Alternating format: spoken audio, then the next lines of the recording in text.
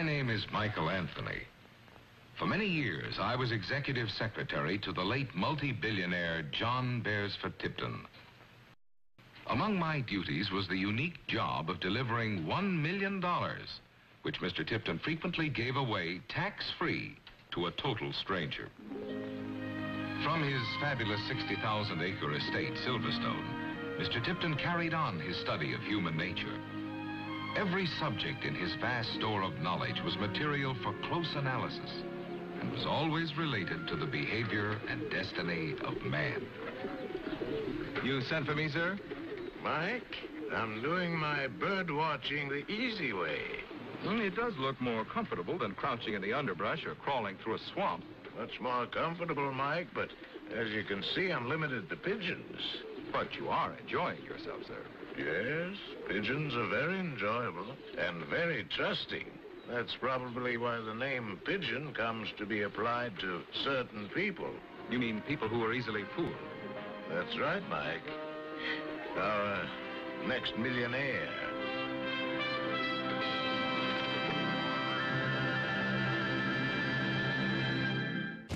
This is Gilbert Burton was a country boy who had just come to the big city to make his fortune. He was willing to start at the bottom, and that's just about what he did.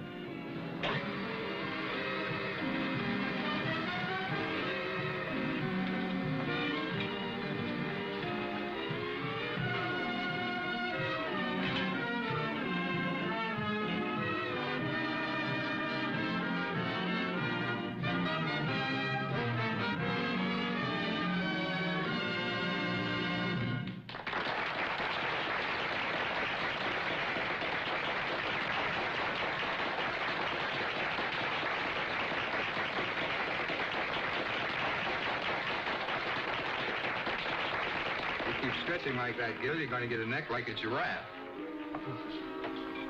She sure is great. Is, uh, Maurice really her brother? Yep. Seems like a nice fella. Say, Gil, do me a favor, will you? Take this into her dressing room. She usually likes coffee between shows. You take it into Miss Carter? Yeah, yeah. Look, I've got a busy table. Oh, wait a minute, Max. Come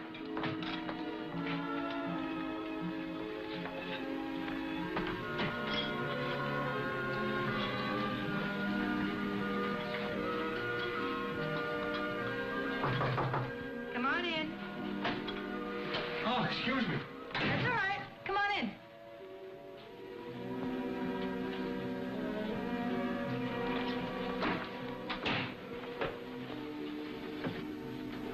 Put it right down here, please. Max was busy. He asked me to bring the coffee. Thanks. Take cream or sugar? No, just black. I, uh, I work in the kitchen. I'm a dishwasher. Oh, well, I appreciate you taking the time to... Oh, look out. Oh, I'm sorry. She'll watch what I was doing. Well, no harm done. Oh. Well, that would make a good bit for a Keystone comedy. Oh.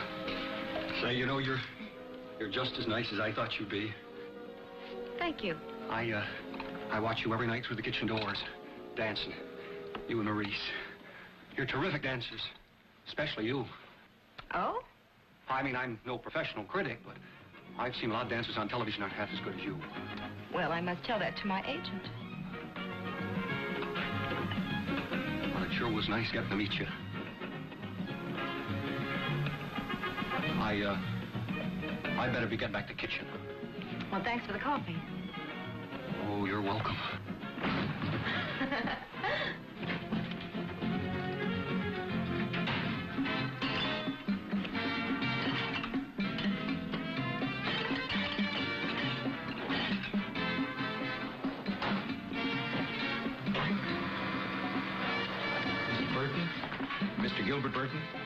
Gilbert Burton. My name is Michael Anthony.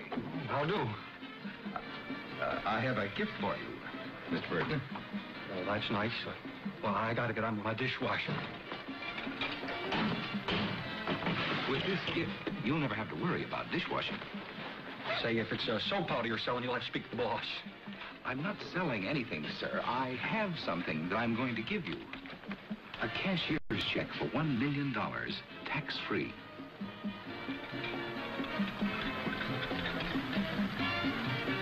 It's real? It's real. And you're giving it to me? Why? Who? It's not from me personally. The donor must remain anonymous. Now, all you have to do, Hey, wait a minute. Who do I have to kill? All you have to do is sign this document. It pledges you never to reveal the amount of this gift or the manner in which you received it, except to your wife if you should marry. If you do tell, the money will be forfeited. Boy, that's funny. I come to the city to make my fortune. I expect to work hard for it. All of a sudden, boom, drops right in my lap. That is, if I don't wake up and find my head under a pile of dirty dishes. Oh, it's not a dream, I assure you. Oh, uh, well, I guess I'm awake. Well, thanks, Mr. Anthony. Thanks a lot. You're quite welcome. Goodbye and good luck, Mr. Burton. Yeah. Good luck.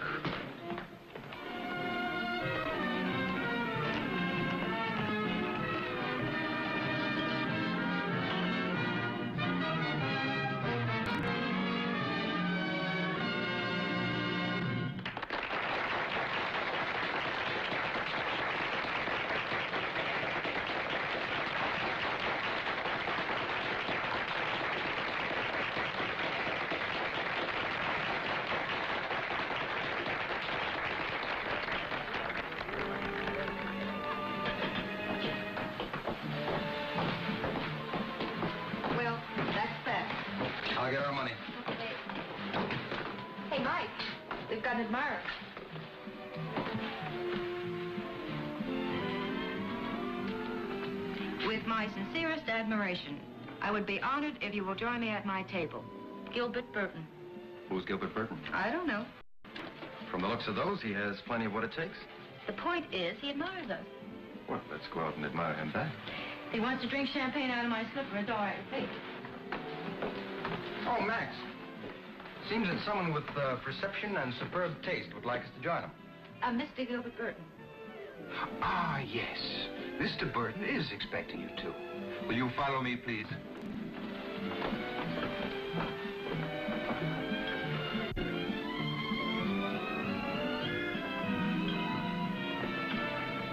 Mr. Burton, Margot, and Maurice Carter.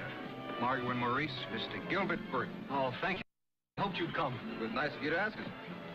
Flowers were lovely.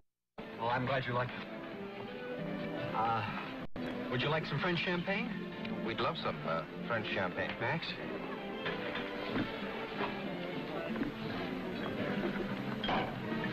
You come here often, Mr. Burton? Oh, I, I've uh, been here before. I've seen you dance several times. I think you're terrific. Thank you. I've, uh, I've always wanted to meet you formally. Well, don't be formal. We enjoy meeting people. The dishwasher. What? That's right, Miss Carter. Up till last night, I worked back there in the kitchen as a dishwasher. Did you lose an election bet? No, that's the way I made my living. But I, uh, I suddenly came in some money, quite a bit of money. Well, congratulations. And many happy returns. Thank you. I'm, uh, I'm glad you remembered me, Miss Carter. I hope you'll forget how clumsy I was the other night. I brought your sister a cup of coffee. Now, that sounds like a perfectly simple thing to do, doesn't it? Well, not for Gilbert. It was all thumbs, wasn't it?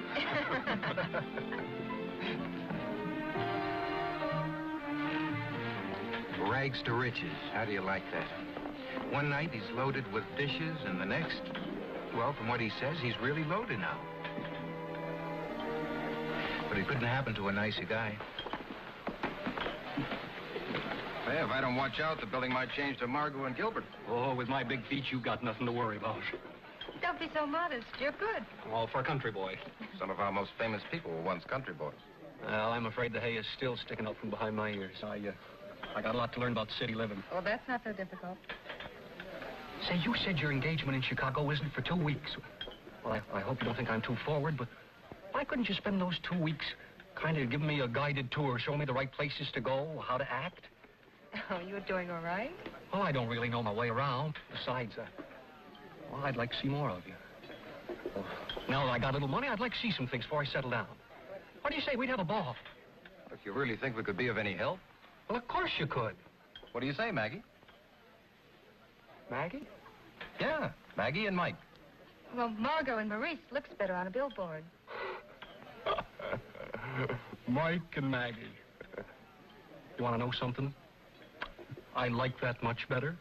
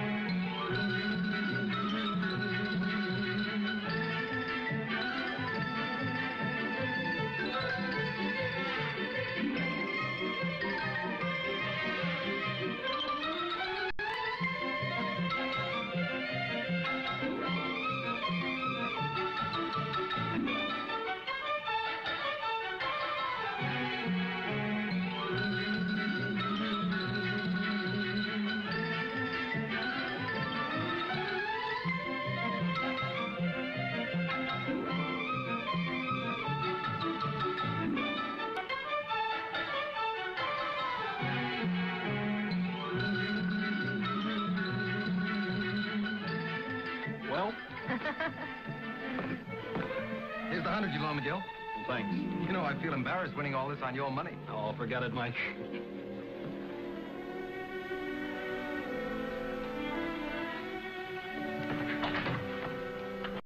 You know, I'm glad Mike couldn't come along tonight. Well, as in, I like him. I like him a lot, but I wanted a chance to tell you how much I like you before you take off for Chicago. Well, you could have told me that with my brother around. But we're not going now. They're holding over the act they got. Hey, that's great. Oh, I, I mean, that's too bad. No, it's wonderful. now I can keep on seeing you. That was the original idea, you know. You know, it's only been two weeks, but doggone it, Maggie, I feel as if I'd known you all my life. I feel so, so comfortable with you. Comfortable. Well, what I mean is, uh, well, I love you, that's what I mean. I guess I've loved you from the moment I saw you through the kitchen doors. Oh,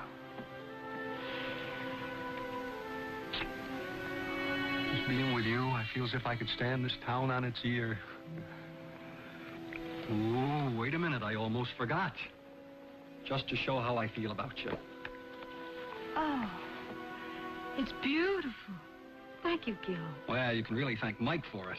A friend of his bought it for his girl, but she threw him over before he had a chance to show it to her. Mike offered to help him sell it, and he just happened to show it to me. I love it. Thank you. It's a wonderful world, isn't it, Maggie?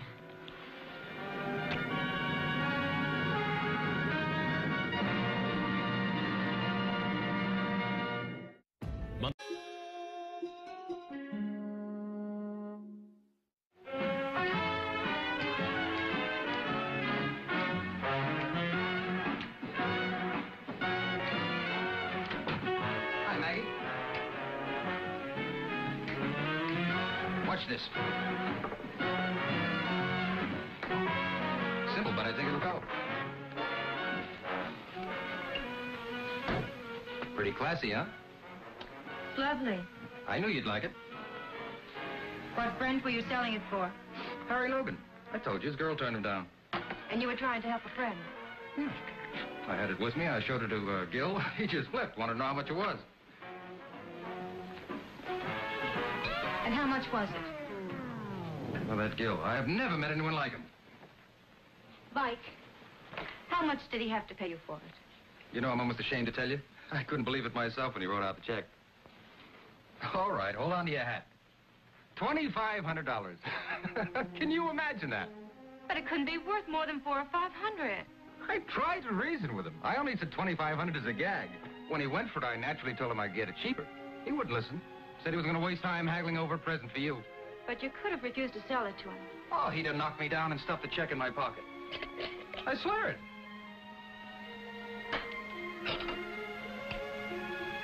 It's a good-looking bracelet. You uh, said so yourself. Well, I guess it's my fault as well as yours. Mike, you know, we've been using Gil as a pigeon. Pigeon. Yes. An easy mark to pay the bills and show us a good time. Oh, sis, he, he likes it this way. Oh, sure. He likes taking us to dinner and buying us theater tickets, but this is nothing more or less than a swindle. Oh, Maggie, that's a pretty rough thing to say. It isn't as if I deliberately set out to take him. Why, Gil got his money's worth just from the pleasure of giving you such a big present. That doesn't make any difference. You just can't do a thing like this to him. Hey, you falling for him? Oh, tonight he was on the verge of asking me to marry him. Well, that's wonderful. It'll keep it all in the family. You know, that Gil's a great guy. I really like him. And, and I could be good for him, Maggie. Yeah, yeah, he needs someone like me. Someone who knows his way around. That's what I'm afraid of. Gil's checkbook would only be too handy for you. Oh. Well, there's only one thing I can do. What? I'm not going to see him again. Just because he gave you a pretty bracelet? Mike, where's the money? What money? You know what I mean. The 2500 Oh. Well, I had to give Harry the three. Uh, 450 and, uh... Mike, you're going to take this bracelet back to Harry, and you're going to return the money to Gilbert. Oh, Maggie, you're killing me. And that's an idea. If you don't return this, the first thing tomorrow,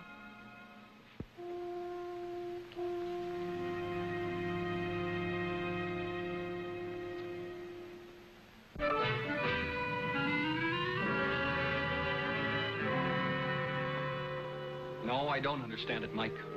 Why won't she see me? Why won't she tell me what I did wrong? You know, you haven't been listening to me, Gil.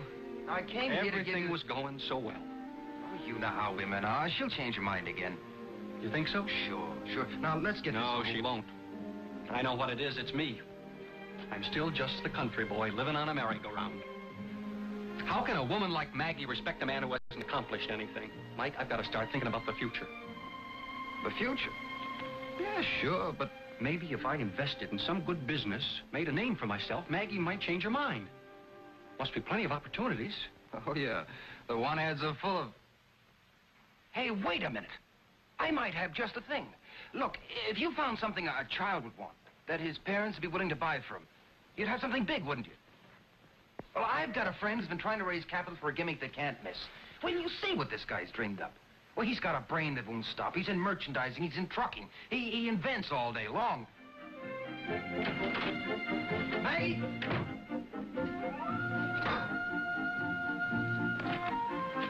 what did Gil say? Oh, Maggie, I've got some terrific news. Did you return the money? Oh, baby, we've got bigger things to think about. I asked you, did you return... Listen, Gil is putting up $150,000 to finance Joe Harper. You should have seen the look on Gil's face when he saw some of those new toys Joe dreamed up. Toys? Oh, you know what this means? With Gil behind us, we can set up our own plant, our own distributing organization. Mike, what's happening to you? You promised you'd return the money. And now you've got Gil putting $150,000 into some phony deal. Phony? No, we're setting up a legal corporation. Mike, would you put your money into it? My money? what money? Anyhow, that isn't the point. The point is that you and Joe Harper can have a ball with Gil's money. Oh, you worry more about Gil's money than he does. It's you I'm worried about. You still have the money? Oh, Got it. What are you going to do? What you didn't do. And undo what you did do.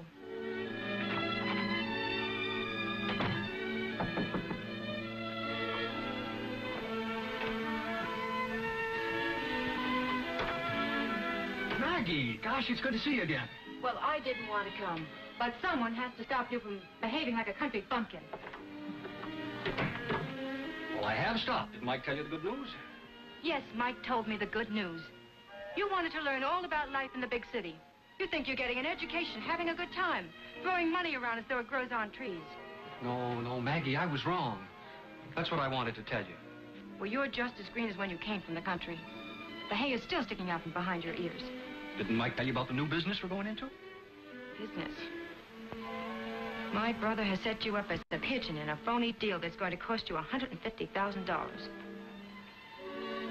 Darling, that's an awful thing to say about Mike. Is it? Well, Mike sold you that bracelet for $2,000 more than it was worth.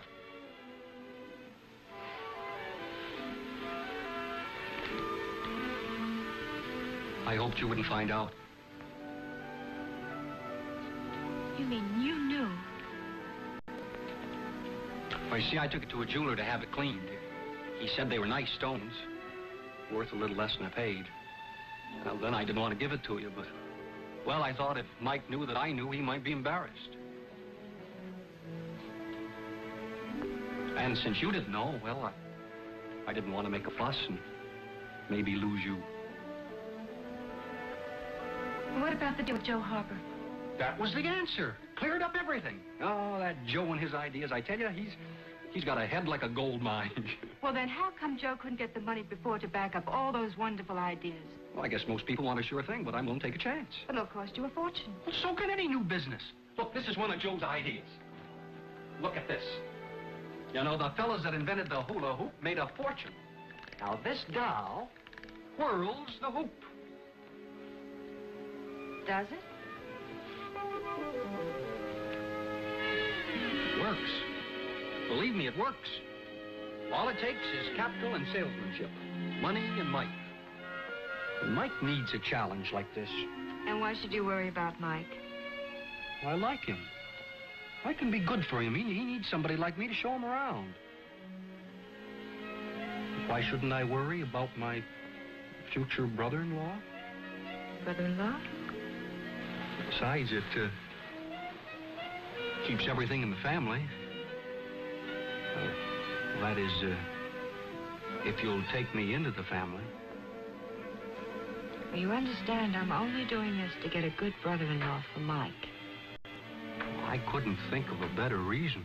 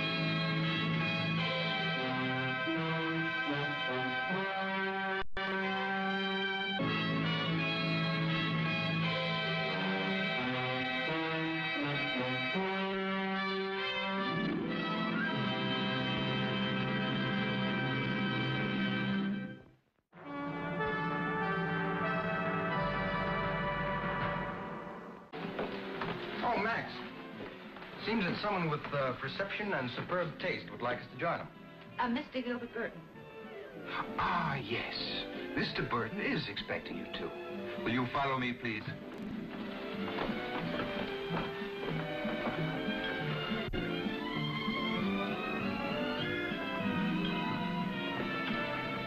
Mr. Burton, Margot, and Maurice Carter. Margot and Maurice, Mr. Gilbert Burton. Oh, thank you. I hoped you'd come. It was nice of you to ask us. Flowers were lovely. Oh, I'm glad you liked it. Uh, would you like some French champagne? We'd love some uh, French champagne. Max?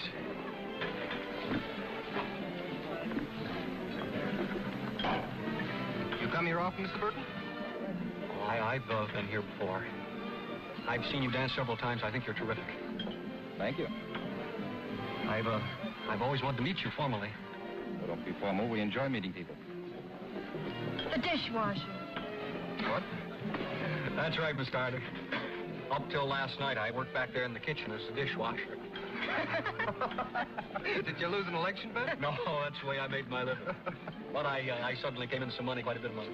Well, congratulations. And many happy returns. Thank you. I'm, uh, I'm glad you remembered me, Miss Carter. I hope you'll forget how clumsy I was the other night. I brought your sister a cup of coffee. Now, that sounds like a perfectly simple thing to do, doesn't it? Well, not for Gil Burton. It was all thumbs, wasn't it?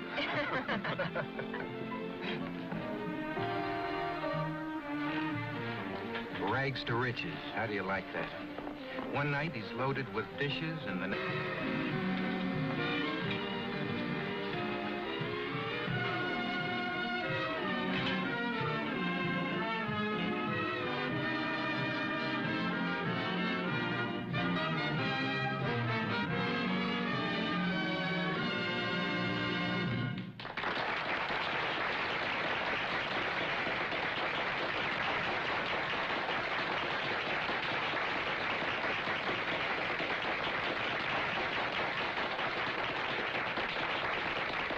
Keep stretching like that, Gil, you're going to get a neck like a giraffe. Hey, she sure is great. Is, uh, Maurice really her brother? Yep. Seems like a nice fella. Say, Gil, do me a favor, will you? Take this into her dressing room. She usually likes coffee between shows. You take it into Miss Carter? Yeah, yeah. Look, I've got a busy table. Oh, wait a minute, Max.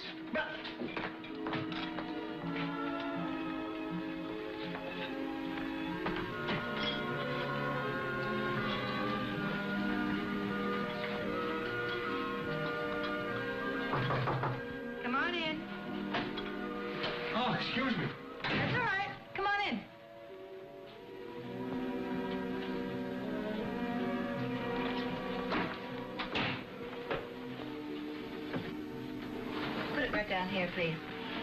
Max was busy. He asked me to bring the coffee. Thanks. Take cream or sugar? No, just black. I, uh, I work in the kitchen. I'm a dishwasher. Oh, well, I appreciate you taking the time to... Oh, look out. Oh, I'm sorry. Should have watched what I was doing. Well, no harm done. Oh. well, that would make a good bit for a Keystone comedy. Oh. Say, you know, you're, you're just as nice as I thought you'd be. Thank you. I, uh, I watch you every night through the kitchen doors, dancing. You and Maurice. You're terrific dancers. Especially you. Oh? I mean, I'm no professional critic, but I've seen a lot of dancers on television aren't half as good as you. Well, I must tell that to my agent. Well, it sure was nice getting to meet you. I, uh, I better be getting back to the kitchen. Well, thanks for the coffee. Oh, you're welcome.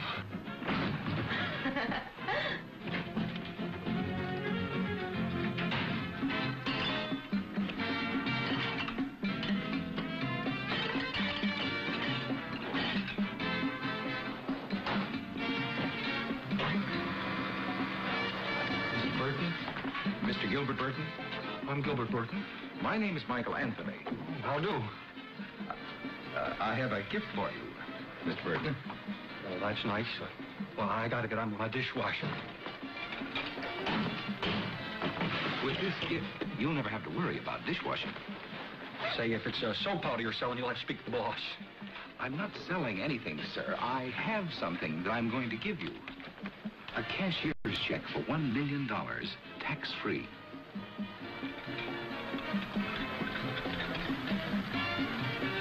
That's real? It's real. And you're giving it to me? Why? Who? It's not from me personally. The donor must remain anonymous. Now, all you have to do, Hey, wait a minute. Who do I have to kill? all you have to do is...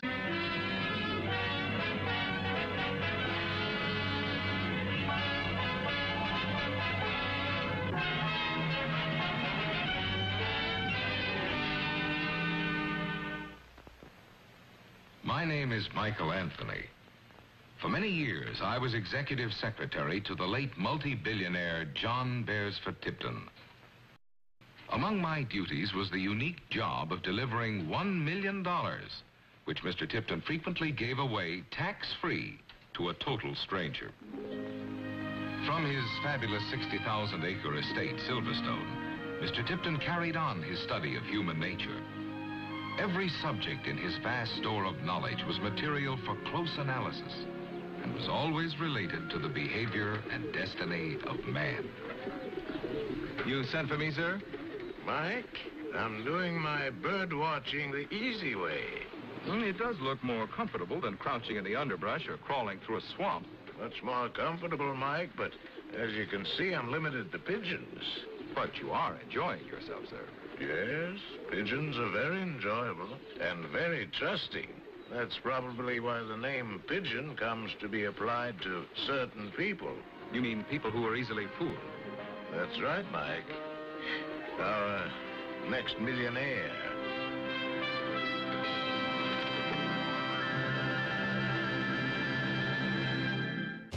This is Gilbert Burton was a country boy who had just come to the big city to make his fortune. He was willing to start at the bottom, and that's just about what he did. sign this document. It pledges you never to reveal the amount of this gift or the manner in which you received it, except to your wife if you should marry. If you do tell, the money will be forfeited. Boy, that's funny. I come to the city to make my fortune. I expect to work hard for it. All of a sudden, boom, drops right in my lap. That is, if I don't wake up and find my head under a pile of dirty dishes. Oh, it's not a dream, I assure you. Uh, uh, well, I guess I'm awake. Well, thanks, Mr. Anthony. Thanks a lot. You're quite welcome. Goodbye and good luck, Mr. Burton. Yeah. Luck.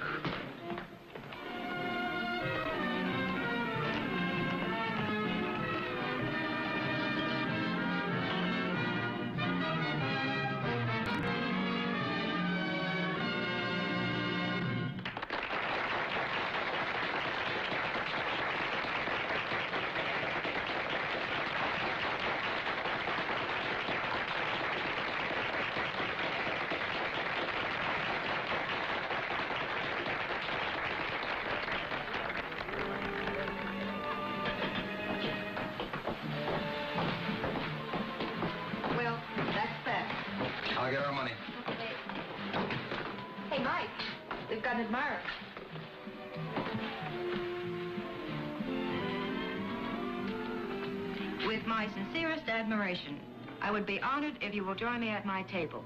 Gilbert Burton. Who's Gilbert Burton? I don't know. From the looks of those, he has plenty of what it takes. The point is, he admires us. Well, let's go out and admire him back. He wants to drink champagne out of my slipper as all right. Hey,